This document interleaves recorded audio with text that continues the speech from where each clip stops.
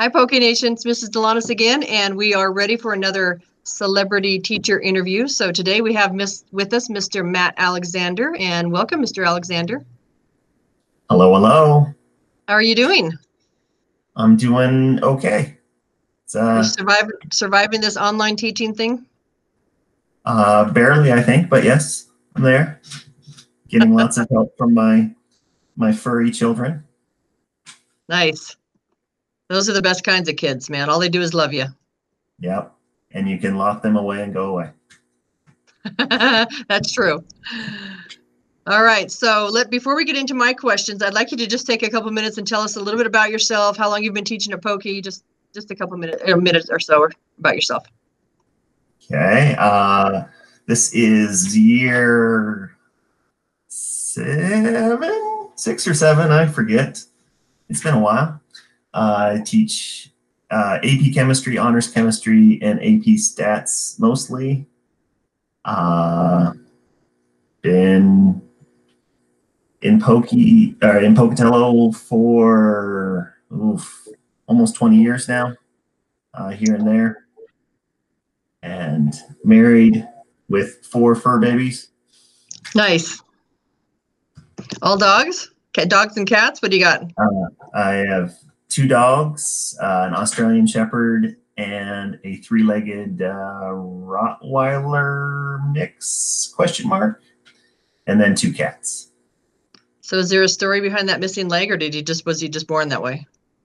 Uh, so my wife does home health, and she found him at one of her patients' house, just out out in the boonies, and uh, it sounds like or looks like someone shot him with a shotgun and left him to die. Die. So he, yeah, he, my wife grabbed him up, and it was actually I was teaching, and uh, between classes I checked my phone, and I had two missed uh, calls and a miss and a text message saying call me and i was like oh my gosh is you know crisis mode and i call her and oh, i just you know before we could they could fix him then we had to adopt him. So i just made an executive decision and we have a new dog. And I'm like okay.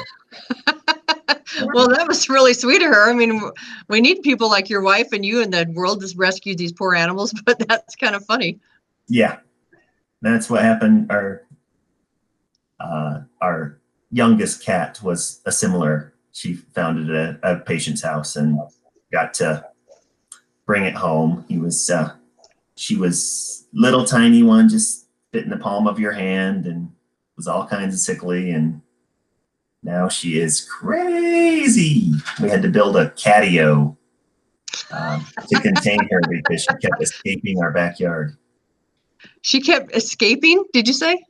Yes, she would jump the fence and then she would go wander the neighborhood. And she Isn't that what cats are supposed to do? Is jump fences and wander neighborhoods, climb trees? Not when they're not savvy enough to not know how to manage uh, cross streets. So she would go across the road and nope. So she has her own little apartment outside now. Well, maybe she was actually savvy enough to fool you into giving her a little apartment. Like if I act crazy Oh. enough, I'll just build me my own digs. Pretty much. That's awesome. All right, so I have 50 random silly questions, and I'm going to have you do five of them. So just you're going to pick numbers between 1 and 50, and whatever question you get, you get. Okay. Uh, right. Number seven. All right, number seven. Oh, this is an easy one. Okay. What football team do you support and why?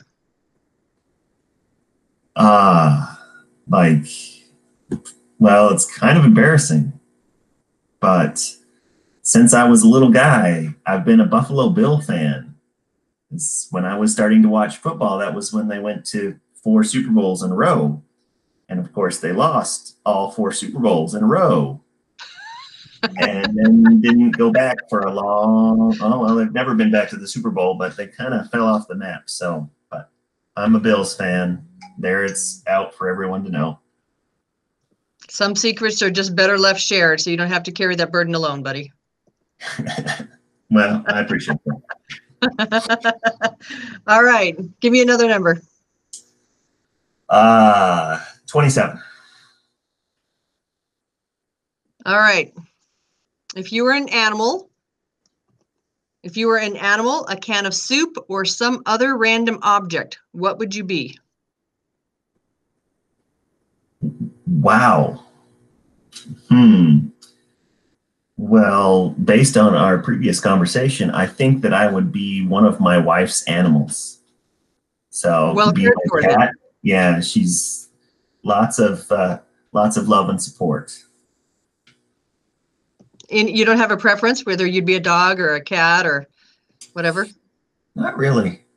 I I would probably lean more towards the cat, a little more independent, but still like the snug snuggles. Cats have got some attitude too. We, I've got two cats and they, they definitely have attitude. So, Oh yes, our our youngest one. She'll you walk in the door and she just starts yowling at you, and you have a little conversation with her, and then she comes up and paws at your leg, and you have to pick her up, and then she'll like drape herself around your neck and just talk in your ear. She's pretty funny. that's pretty sweet. Okay, give me another number. Uh, thirty-five.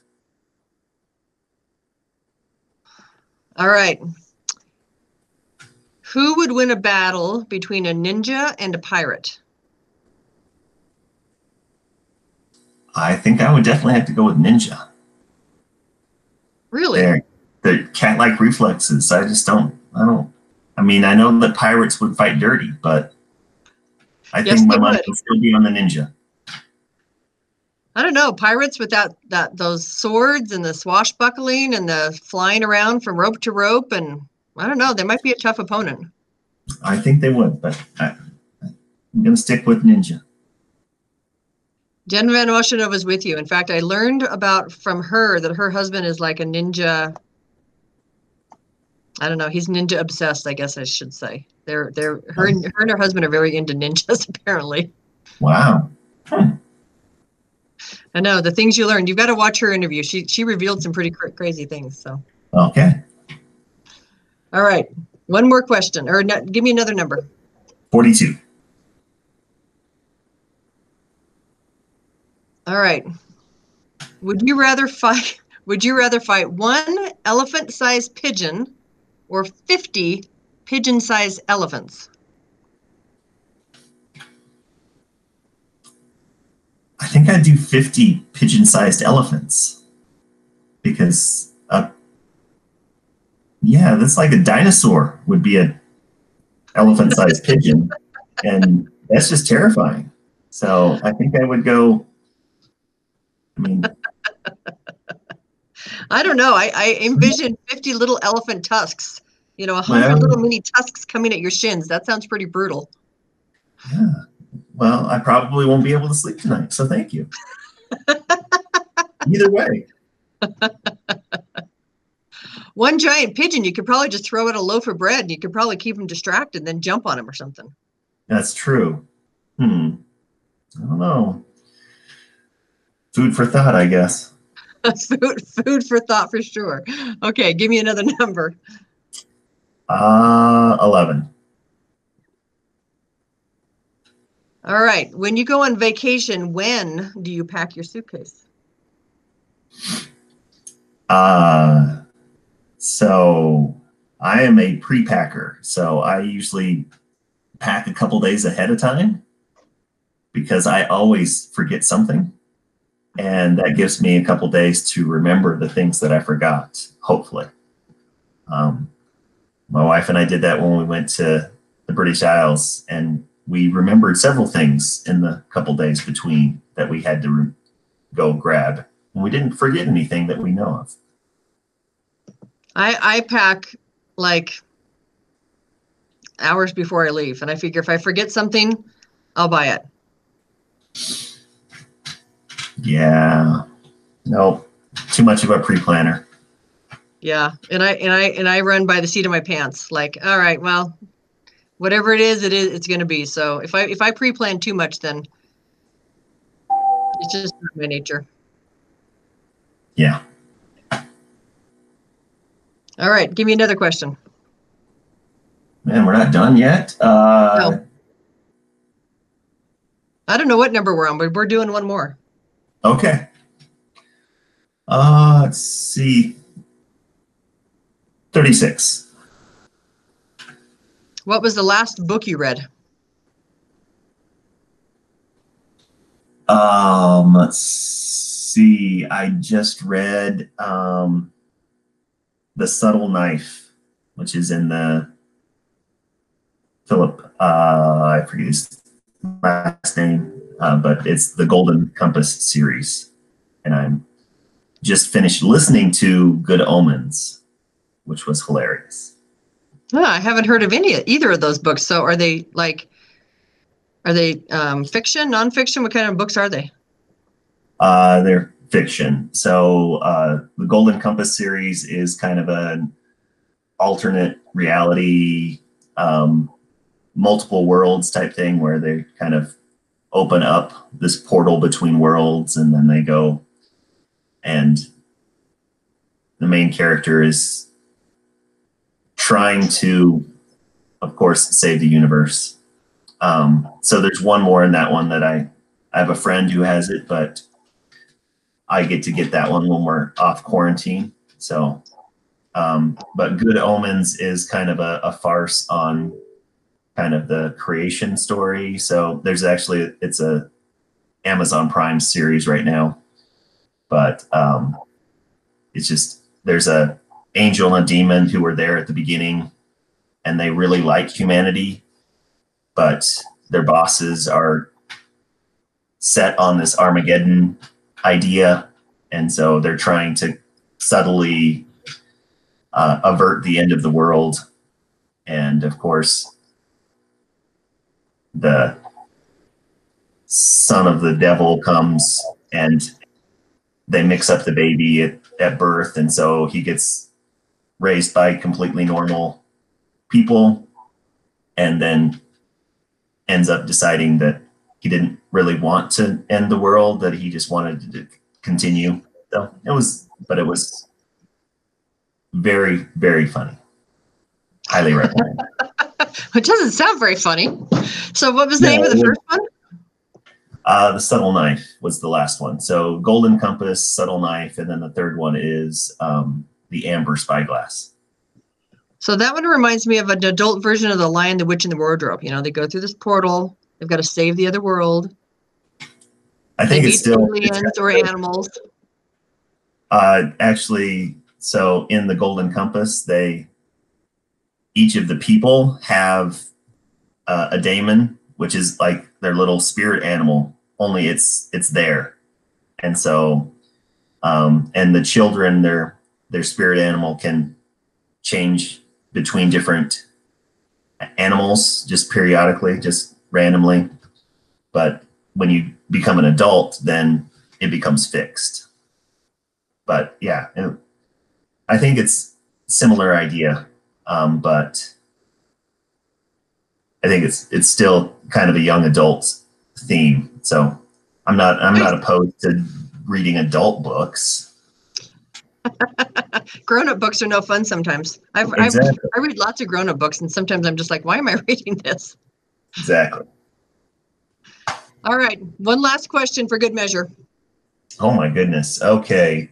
Uh, Clearly, I don't know how to count two. to five. I don't know what number we're on. I think this is seven, two? but that's okay. Yeah, number two.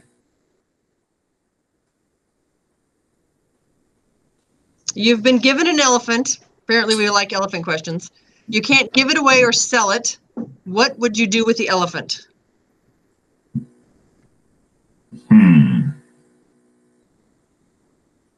Man, I don't know. I think I would uh, start a landscaping business, and it can help me uh, move heavy objects. trees. Yeah. well, you know, You'd probably get a lot of onlookers. You could probably sell tickets to the landscaping as well. There we go. Got to pay for the feed somehow. you could bring him to football games and kids could ride him around and he could, you know, trumpet and we'd have a blast. Sounds like good good time. Does sound like a good time. All right, Matt. Well, thanks for being here and letting us see a little glimpse into the, the man behind the man. All right. Thank Thank you. All right, we'll see you next time. Okay. Bye. Bye.